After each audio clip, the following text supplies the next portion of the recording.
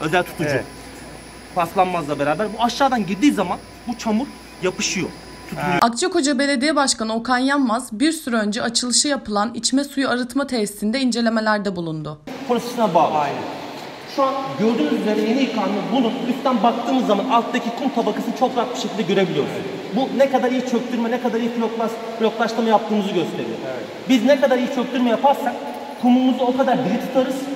Yanmaz tesislerin dünya standartlarında olduğunu belirtti. Bölgenin 50 yıllık su ihtiyacının karşılanmasının hedeflendiğini belirten Yanmaz, Akçakoca'nın 50 yıllık su ihtiyacını tedarik edecek olan ve günlük 26 bin metreküp kapasiteye sahip olan dünya standartlarında olan arıtma tesisimiz temiz su temin etmeye başladı dedi. Başkan Yanmaz kendisine eşlik eden yetkili ve teknik personelden çalışmaların ilerleyişi hakkında detaylı bilgiler aldı. Mikroorganizmaları çamuru topaklaştırıyoruz, büyütüyoruz ve bunu çöktürüyoruz.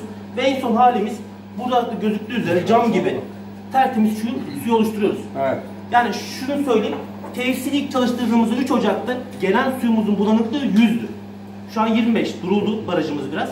100 bulanıklık ciddi bir miktar. Biz 100 bulanıklığın çıkışta 0.50'ye kadar, 0.20'ye kadar düşürdük.